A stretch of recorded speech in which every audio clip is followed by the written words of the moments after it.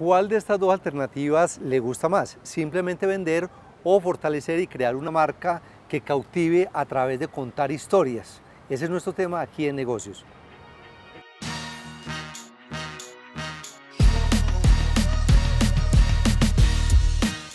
Nuestro invitado José Portas, que es un experto en el tema de video marketing, de contar historias. Bienvenido. Hola Juan, ¿cómo estás? Mucho gusto. Eh, un placer estar aquí en mi casa, mi nuevo hogar ahora aquí en Medellín. José, empezamos por contar cuál es la diferencia entre vender y construir una marca. Pues Juan, mira, una de las diferencias más grandes entre lo que es venta y lo que es eh, el branding. Eh, branding, básicamente tú tienes que conocer la persona. Es como si tú estuvieras viendo a tu público como si te fueras a casar con él. Y tú, si tú, ves una persona que te vas a casar con ella, tú no vas de momento a, interrumpir su espacio, ¿no? que la venta es un poquito más directa, un poquito más agresiva. En cuanto al branding, se toma más tiempo, pero tú vas conociendo a la persona poco a poco, quizás no le estás hablando de tu producto, tú lo que estás es dejando que la persona te hable. Y esa misma persona, una vez que crea esa confianza, es que te pregunta qué tú haces. Y entonces esa persona está preparada para que tú le digas sobre tu producto.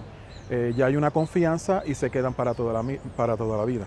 José, y en ese tema de construir el branding, pues hay una herramienta que es poderosísima, que es contar historias, porque las historias a todos nos gustan, pero además impactan, eh, generan una alta recordación. Este, pues Juan, eh, sí, contar historias para construir una marca es lo más poderoso que puede tener una compañía o una persona para hacer su branding o su, marca.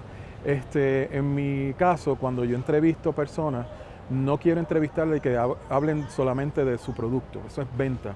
Eh, nosotros necesitamos ser aspiracionales. Si ustedes van a hacer un, comercial o un video eh, sobre su compañía, traten de entonces contar su historia y ser inspiracional. Eso es lo que la gente usa y eso es lo que la gente eh, ve como bueno y, van a querer trabajar con usted, más que si usted vende un producto.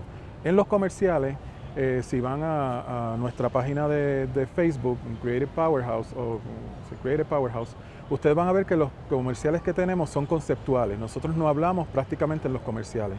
Nosotros creamos una historia, dejamos que cada cual eh, se haga su propia historia y al final pues le, le llevamos el mensaje.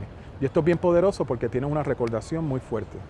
Hay que contar en este punto que José es uno de los más fuertes en el tema de videoblog en los Estados Unidos y por eso José nos va a regalar unas claves que yo como empresario, como emprendedor, deba tener en cuenta a la hora de llevar una historia al formato audiovisual. Sí, Juan, pues mira, este, eso, es, eso para lo más fuerte, para no, llevar mensaje, es el video. Obviamente es audiovisual, tú escuchas y, ves. Em, uno de los tips que yo le puedo dar es planificación Planificación, si va a ser un comercial, por ejemplo, planificar qué se va a hacer. En el caso de que sea una entrevista y usted está contando su historia, cuéntela su historia tal cual. No trate de inventar, no trate, no de ponerla más o menos de lo que sea su historia porque eso se va a reflejar. ¿ve? Tiene que ser genuino y, y tiene que ser al grano. Si no, pues se pierde el mensaje. Yo quiero aprovechar que tenemos aquí a José, que es una persona con una gran trayectoria en el tema del videoblogging, de todo lo que tiene que ver con storytelling, para que nos cuente lo que ha logrado y cómo lo ha logrado, porque nos sirve de ejemplo para hacer muy bien las cosas en nuestras empresas.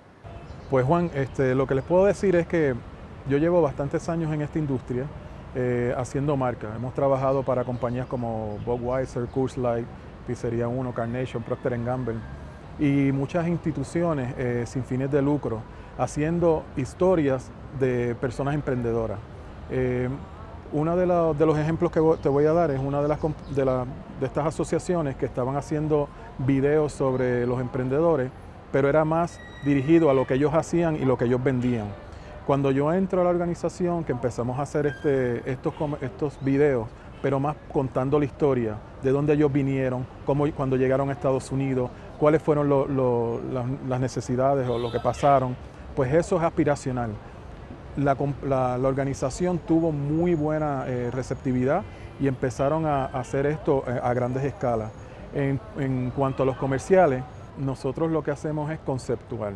Eh, es muy fácil hacer un libreto y, tirar un comercial, pero cuando tú traes una, investigación, que yo le digo a todos los empresarios, por favor, antes de hacer cualquier cosa a nivel de ya de comercial, eh, hagan, una, investigación, porque de esa investigación es que nosotros sacamos toda la información para entonces nosotros conceptualizar, saber a, qué a qué mercado vamos este, y un sinnúmero de cosas que hacen esa campaña que sea todo un éxito.